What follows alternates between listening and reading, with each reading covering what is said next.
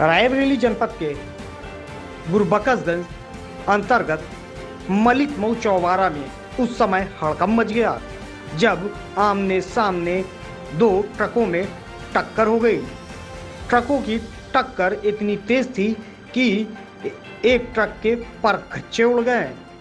लेकिन आसपास में आने जाने वाले राहगीरों व दुकानदारों को किसी भी प्रकार का नुकसान नहीं हुआ। अगर बात की जाए तो वहीं ट्रक में सवार, ड्राइवर और क्लीनर दोनों को कुछ गंभीर चोटें आई हैं, जिसकी वजह से उनका इलाज सीएससी गुरबकसगंज में चल रहा है।